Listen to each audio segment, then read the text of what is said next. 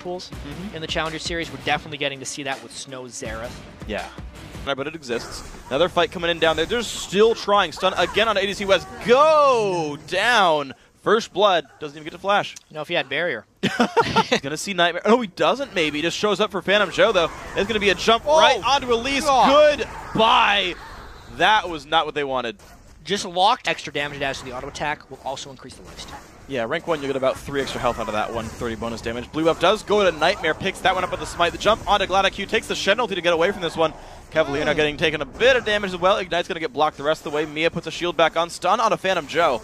That's going to let these guys run away, but Blue buff does get stolen. Also the team that is very much in control right now, so pretty secure.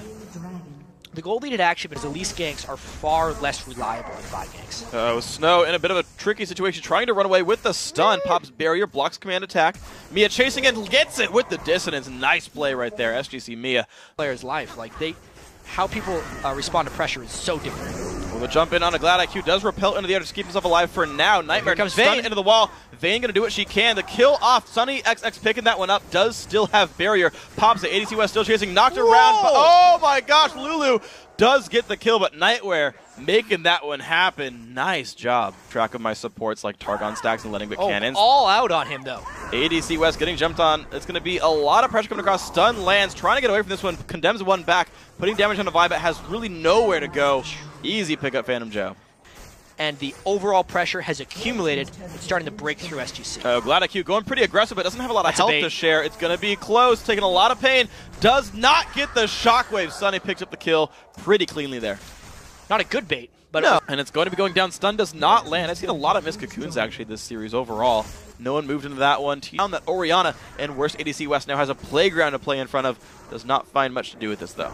yeah, I mean, I was actually taking a look there. It was two health on Thresh. The fight continues. Vault Breaker lands. There we go. The jump in and a lot of damage coming across. Lulu drop dangerously low. Flash in, picked up right there. The Mikael's Crucible used to help escape the Vayne for Elise and Orianna to heal back up, which means it's a pretty bad number situation. Them still healing for four more seconds. Oh! The pull in on the Cavalier, flayed backwards as well. Taunt goes onto one. Stun for Renekton. Stun comes in as well. Sunny picks up the kill credit. 8 to 2 now. Inhibitor turret is dead, and 25 minutes in, looking at an inhibitor. And that's that really low cooldown on Xerath Ultimate. There's no way SGC expected it to be up right there, but it granted them a kill, just dodging out of another one. But here comes Sunny.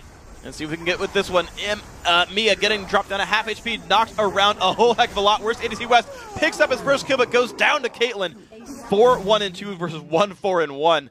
Way better uh, caught out here. Sunny gonna go in. Ascension used as well. Flay is really good. Going to go back and taunt in. He has nowhere to really go. Hits a Caitlyn trap. And goodbye, Shen. Trying to split. Like he was going towards. They've actually rerouted him, so no one's here to steal away the Baron. That's picked up right there. 300 gold a person. Snow doesn't want to click the lantern. Does look for worse ADC West. ADC West actually dodging the first two, goes in for some damage, doesn't dodge the last one, but he is still alive. Gladiq goes in. This is going to be the last fight of the game. Oh, Elise no. goes down. The jump in. Goodbye to Orianna. Doesn't even get the shockwave. ADC West forced to run away. Lulu's going to go down as well. Cavalier just has not joined the fight because his target died. Two versus five. Was the third one extremely convincing. They get the ace in the hole on the fountain. 14 kills to three. Congratulations to TT.